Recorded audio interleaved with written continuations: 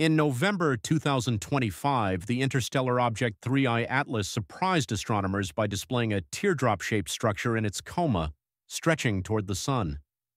Observations revealed something unusual. 3I Atlas experiences a small but constant non-gravitational acceleration that pushes it radially away from the Sun. If 3I Atlas is surrounded by a swarm of objects that do not share this acceleration, they would remain slightly closer to the Sun, forming an aligned structure. This difference in motion would create an anti-tail, a geometry that always points toward the Sun and converges at 3I Atlas's perihelion.